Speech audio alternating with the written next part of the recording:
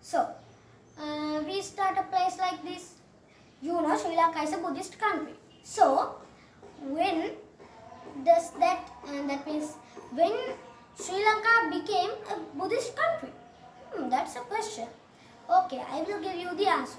In the 3rd century BC, in a Poson Poya day, the introduction of Buddhism to Sri Lanka was happened by a by Arahat Mahinda.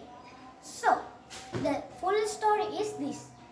Um, you know the king Devanampiyatissa was the ruler of the Sri Lanka and the Deva um, the king Empire Dharmashoka was the king in um, India. So uh, they was they were friends and they ha- haven't seen each other but they are friends. Uh, in that time Sri Lanka haven't any religion, language, no, they haven't any habitats. They haven't any habitats.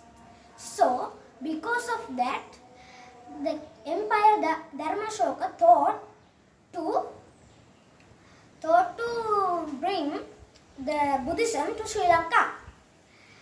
And that day was uh, day like this. Um, that Poson Poya day. Um, the king Devanampiyatissa was uh, catching a deer with his, um, you know, the uh, enemies, no, he, with his army, army.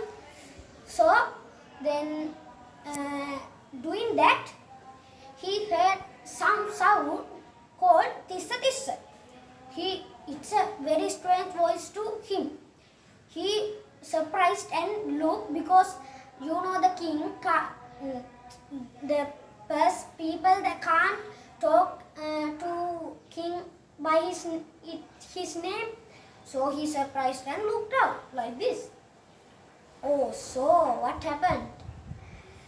He saw Arahat Mahinda with his um, other servants.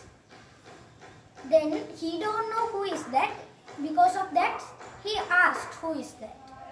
Then the the servant, uh, that means the Thero, um, answered, uh, I am the son of Dharmashoka, Dharmashoka king, and I came Lanka to um, introduce Buddhism.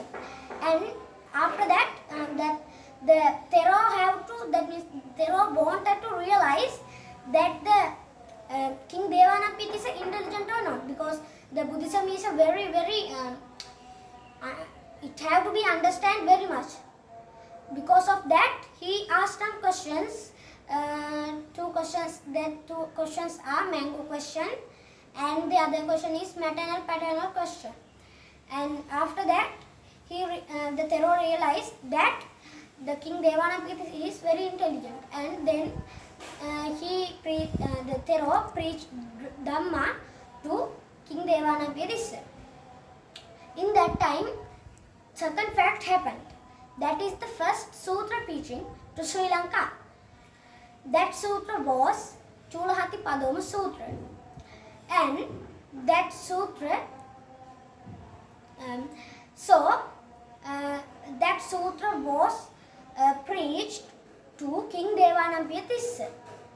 Also, um, the army of him listened to it and they were um, they were they get a knowledge about Buddhism and they um, spread Buddhism around Sri Lanka.